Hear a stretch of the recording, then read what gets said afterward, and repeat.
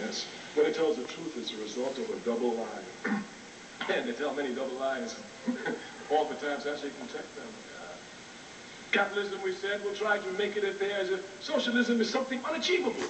Oh, how could people live in peace? There's nothing man and woman cannot do once they decide to do it, and no student can take any other attitude towards life. No other. You may limit your own human potential by saying, I can't do that, but you must never say that people cannot. There's nothing that people cannot do, and if one believes in God, there's nothing they cannot do with God. Even if one doesn't believe in God, there's a whole lot they've done without what appears to be God, especially in the field of military uh, buildup, military technology. Therefore, it is clear that there's nothing that people cannot do, and we say that people are going to go to socialism because of the just instincts. People everywhere fight for justice, everywhere fight for justice, drop of a hat. We said earlier this afternoon that the best uh, the best example are the unjust forces. Adolf Hitler never came before the Germans and told them we're fighting an unjust war. Never. If he said the Germans were fighting an unjust war, no German would come. He had to lie to the Germans. We're fighting a just war. This war's a just war. Look what they did to us in World War I. Stripped us of everything. They treat us like a colony, just like we're Africans or something, or some of these barbaric people, and we have given civilization to Europe, etc., etc. He had to come to justify it and make the Germans believe it wasn't just trouble. The example we gave earlier this afternoon, we repeat that of the war in Vietnam. Ho Chi Minh is a great fighter for humanity. Johnson was president of the United States waging war in Vietnam. When Ho Chi Minh came before the Vietnamese, he used to say, comrades, we're fighting for democracy. Comrades, we're fighting for truth. Comrades, we're fighting for freedom. When Johnson came before American troops, he used to say, we fight for democracy. We fight for truth. We fight for freedom. That is to say, all of them have to allude to the same just principles to have the people respond. Anytime they say the principles are unjust, the people will not respond.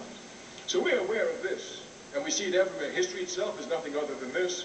Again, the example we use this afternoon, we repeat here.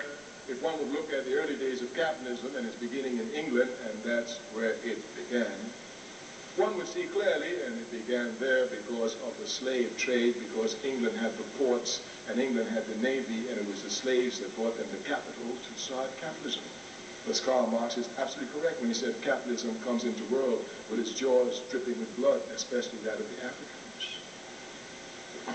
If we would look carefully, we would see that uh, throughout history, people rise up all the time. Peasants rise up, serfs rise up, slaves rise up, workers rise up. And their rising up always seems to be spontaneous and temporary indeed. Most of the time it is because up to this point the masses lack clear organization that can direct them towards justice. In a few places they've arrived at it, as in Cuba with that great leader of humanity, Fidel Castro. There, of course. In most other places, there is no organization. Thus, the people rise up. We see the example of England. When the serfs were driven off the land, these serfs who knew nothing about capitalism knew they were exploited. Now you must know something. The people may not know what forces exploit them, but they know they are exploited. And when it becomes too much for them, they slash out at anything in their path. These serfs, these new workers, who knew nothing about working conditions but knew they were exploited, not the same conditions they have in the serfs, they rose up and smashed the machines, these big machines that capitalism was bringing out.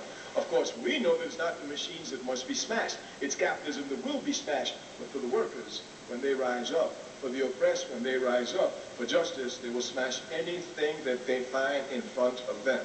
That's why you must always be careful to be with the people, not too far ahead of them, because they might think you're the problem. always be with the people. always. always. Pan-Africanism is the instinctive love of the Africans for the unity of their continent. And we say in order for them to arrive at Pan-Africanism, they must destroy imperialism. Therefore, once you say you're Pan-Africanist, you're anti-capitalism and you're socialist. Capitalism and socialism are diametrically opposed one to the other. Now, there are only two economic systems in the world, only two, capitalism and socialism, leading to communism. But the question of whether or not socialism goes to communism is more an ideological question than an economic question, which has escaped the minds of many. Communism is made up of three parts, dialectical materialism, historical materialism, and philosophical materialism. Philosophical materialism under communist parties is usually atheistic. That is to say, in order to be a communist, you must be an atheist. Well, you know, this is kind of hard in the Arab world. where the religion of Islam was not only a civilizing force for them, but also a religious force. So to ask them to give up Islam for communism kind of difficult. And certainly to ask Africans to give up their religion just to fight makes no sense to them because they use their religion to fight. Therefore, because of this problem, a lot of people stop at socialism. So I'm not going to communism. And of course, those of us who want to carry on the debate, we are knowledgeable in these areas and we can continue the debate. So just leaving capitalism and socialism. Now, there can only be two economic systems, only two. Simply because every economic system must respond to one fundamental question. Who will own and control the riches of the country? Who will own and control the means of production? The question can only be answered two ways. Either a few will own or everybody will own. It's as simple as that. Under a capitalist system, a few people own everything. Under a socialist system, the people own everything. It's as simple as that. Certainly, if one would just look, take a cursory glance at the capitalist system, one must see its unjust nature. How could a few people have the right to own everything? As I remember one man telling me, I said, how come Rockefeller got all that money? A teacher when I was a young man. Rockefeller worked hard for that, worked hard for the money. Did he work harder than my grandfather who was a slave? of course, if hard work is supposed to give you money, my grandfather should be the richest man in this country. He was a slave. he didn't have no choice. He got to work. he can't even decide today I want to rest. No. So, uh, obviously, all these lies of capitalism must be made clear. Anytime a few people own everything, the system by its very makeup is unjust.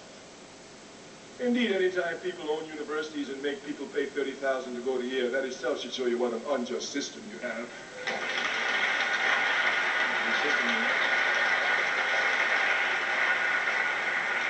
In Cuba, where you have a socialist system, as far as the country is, under all the problems imposed upon it by American imperialism, with the blockade, etc., with its invasions, with its going over and over over their sky space and uh, just having no respect for the sovereignty. What do you mean the Cubans shouldn't shoot him down? Let Bill Clinton get into play. Shoot him down, too. It's Cuba's airspace. They got the right to protect it. Of course they do.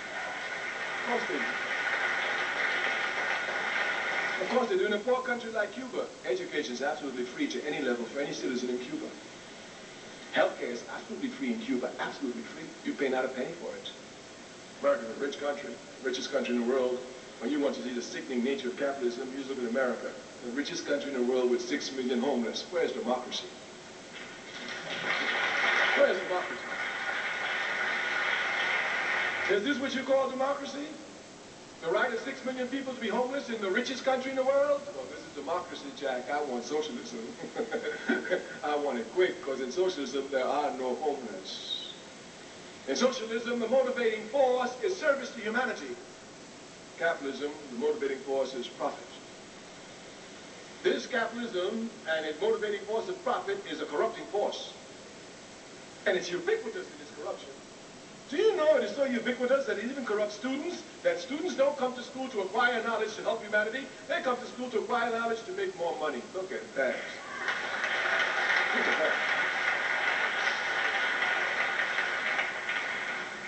Any country that refuses to use its knowledge to advance the country, but uses the knowledge to advance the individual, shows that it's a dying country. Knowledge, in the first instance, doesn't belong to anyone. It belongs to the people. Knowledge belongs to the people. But America has all this thing about the individual who's so genius and brings contribution and all these nonsensical statements. I remember once some poor college student arguing with me. Well, Mr. Toure, I don't agree with you about the, the, the, the, the people. The people are stupid. It's individuals who lead them. And he mentioned Beethoven. I said, Beethoven. Is he the one that wrote sonatas and stuff like that? Yes, yes, yes. At age five. Yes, at age five he was composing sonatas. Yes. But did this one, Beethoven, who was composing all this on the piano, did he uh, give us a piano?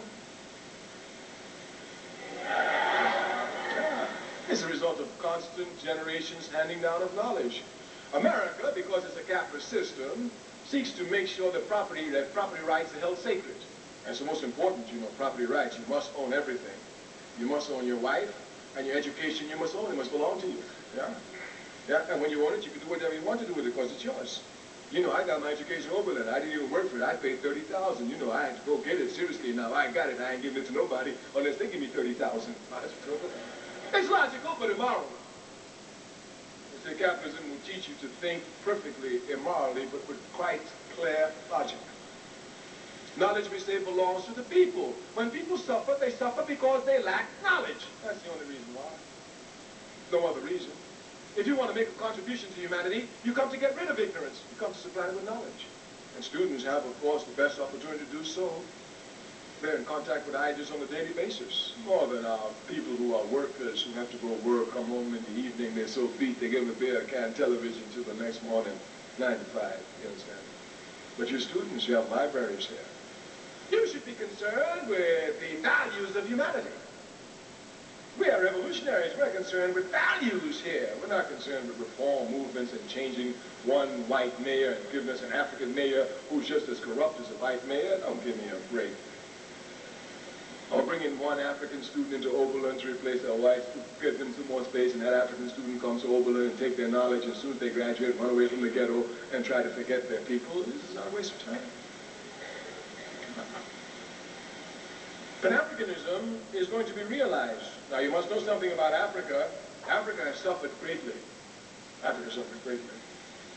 But suffering has its redemptive, its redemptive phase. It certainly does. And Africa is certainly going to redeem from the suffering. But uh, Africa has to fight all of Europe. The statement we make is a light statement. It's taken lightly, but it's true.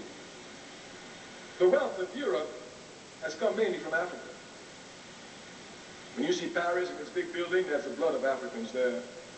When you see America and its building developed, that's the blood of your slave ancestors here. There's no question here. Europe has developed itself off of the rape of Africa. And not just one European country. I mean, Africa was colonized by all of the Western countries with the exception of Ireland. That's why the Africans have so much love for the Irish, even though some of them get confused when they get, tainted with racism. Don't be stupid. You never colonized us. You're fighting the British. You should be with us. for 800 years, no less. racism will confuse you. Confuse you. Just like capitalism confuse your thinking, make you think you're better than somebody else just because of the color of your skin. Give me a break. Man don't even take a bath. yeah. Well, this is part of the capitalist system because the capitalist system pushes form over essence. It's form that counts, not essence. We say Africa is going to be free, unified, and socialist, and no force on earth is going to stop them. One of the statements we make tangentially before we go into some other rough, some other meaty statements of Pan-Africanism and then come to take questions. I know that Africa will unite before Europe. Now, we have stated here, and it's a fact, that when one speaks of uh, continental unity in the world today, one is speaking of Europe. Europe is the one who's speaking of it. But Africa is definitely going to unite before Europe. And uh, not to belabor the point, but to give you just two aspects of it, one political and the other cultural, and then, of course, from there we can go on to other areas. But uh, since it's a tangential statement, we will stop there. We can pick it up in the question and answer period. Politically, I uh, listen to uh, news around the world, and some days I can hear European leaders of uh, of the Scandinavian countries where they're most prominent. Sometimes you can hear from Italy. But their leaders there, their prime ministers or their presidents or what have you, their political leaders can usually come and say, we're against unity in Europe because if we have unity in Europe, it's going to smash up and it's going to destroy our our fishing industry. It's going to stop our. It's going to uh, make trouble for our dairy products. You know, it's going to. They have give a lot of what appears to be really uh, serious reasons why there should not be European unity. And you can hear this all the time on any news station. These European leaders declaring their their political positions against European unity. In Africa, most of the leaders of our countries are, in a truthful statement, the very scum of our race. I mean, they are filthy. They care nothing about the suffering masses of their people. All these pigs want to do is line their pockets with money at the expense of their people. And they do it. And they do it. Africa has more corrupt regimes than probably all of the continents put together. This is just facts.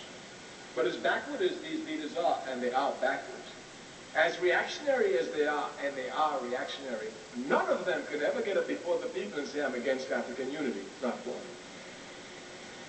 Let me say I'm for African unity, lie, and then work against it as they do. But to come before the mass of the people and make a statement that they're against African unity, they'll be finished. Because the love of the masses for this African unity is so strong there's no way any African leader who works against African unity can come before any group of Africans and say they're against African unity. This love of African unity can also be seen in the cultural aspect. I've heard songs sung about England, about France, Germany, Italy, but I've never heard a song sung about Europe. I'm not saying that they do not exist, but I've never heard one. But the songs that I've heard about Africa, I could stop with Bob Marley, who was born outside of Africa. The songs that you can hear sung about Africa must number in the hundreds of thousands. I mean, they're sung by Africans everywhere, not just by reggae people, even Calypso. Trinidad, where I was born, and Calypso is one of the most degrading uh, songs And uh, when you hear them talk, they talk, how you jamming so? He's also born in Trinidad, you see. But even in Trinidad, back when they are, they have to sing songs like, How you doing, Mother Africa? Looking for you, Mother. Yes, it's forced upon the people. And when they sing, they sing about Africa. They don't sing about one part of Africa, Ivory Coast or Ghana. They sing about all of Africa. The same thing is to be found about the continental map. I am sure that Africans everywhere in the world know the shape of Africa. They know it. They have it now on their hats. They have it on their coats, on their chains, and their hairs. They everywhere.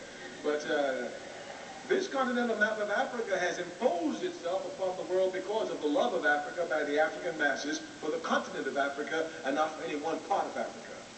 Of course, with the diaspora, it comes to be a great point because diasporan Africans don't know exactly where they come from, unless, of course, they have the time, the ability, and the capabilities, as did Alex Haley, to uh, trace their roots.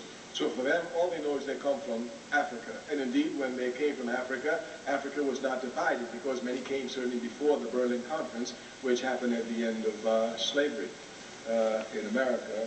Yeah, well, let me see. Well, Brazil was Native American. South America was Native American, yes. Uh, so uh, at the end of slavery it came. So with these Africans from the diaspora, for them too, they just see Africa, not a country. So because of these, I just gave you political and cultural reasons. There are many more, social, etc., etc. For many of these reasons, of course, Africa will unify before uh, Europe. And the unity, unity of Africa must mean a destruction of European imperialism. It's the only way that uh, Pan-Africanism will come about. So we've just cleared the air. We told you exactly what the forces are. We do not enjoy bloodshed just like anybody else, but uh, when bloodshed is called for to demand human dignity, then we know there's something more important than life, and that's human dignity and freedom, and we're always willing to give life to arrive at freedom and human dignity. And of course, you know, I have to remind a lot of people of that. I have, uh, well, it's true, sometimes you do get read. Oh, I met my sister here, her name is um, and Najib Malek, And uh, my sister's a prof professional nurse, so you know I have cancer, so uh, my family wouldn't let me take my first trip out unless my sister came with me to ensure it, so my sister had to travel with me to be my jailer.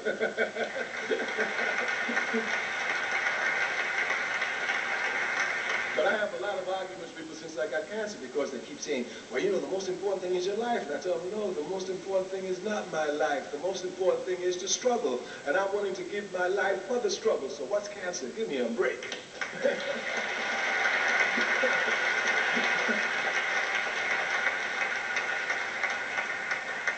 So we have to constantly remind ourselves that life is not the most important asset. Capitalism seeks to dig that in your head. If you ain't got you, who you got? No, no, no, no, no, no. This uh, concept of individualism, which capitalism has taken to ludicrous heights, I mean, in its culture, you see Superman, you see Rambo, you see just ludicrous heights, the individual, it's just stupidity. Not only stupidity, it's just untrue. It's totally untrue. Matter of fact, if you really examine this from biological aspects, from cultural aspects, from uh, social aspects, you will see that the individual which they portray must be an animal. Because it's only animals on their own, without others, who can grow their fullest animal potential. A human being isolated from the human race will never grow to their fullest human potential. It is the people who always socialize the individual. It's the people who teaches the individual everything. Everything the individual learns, he learns from the people. Therefore, if the individual is conscious, everything they learn, they must give back to the people. That's clear. That's crystal clear. That's crystal clear. This aspect of the individuals we can crush very easily. You know, if you take a cat when it's a kitten, a dog when it's a puppy, uh, you take a baby a human being when it's a baby. If you put all three in the woods by themselves, the dog will grow to its fullest capacity, be a dog. The cat, the kitten will grow to its fullest capacity, be a kitten. But the baby, we question whether or not it will live. First of all, it might scratch itself to death if somebody doesn't cut its nails. Certainly, if it doesn't scratch itself to death, the human beings are so stupid that they're the only species that will walk into fire with a smile on their face.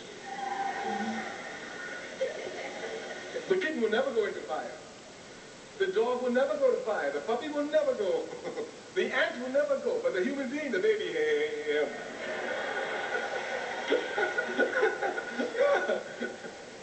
Human beings are isolated from their species are more stupid than other animals isolated from their species. This is a fact.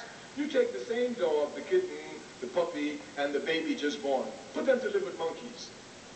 The dog, though living with monkeys, will grow to be a full dog. He'll bark, wag his tail, and love moles. The kitten growing up against, among monkeys will be a full cat. It will meow, it will love milk. The first time it sees a mouse, it will chase it, play with it, and eat it.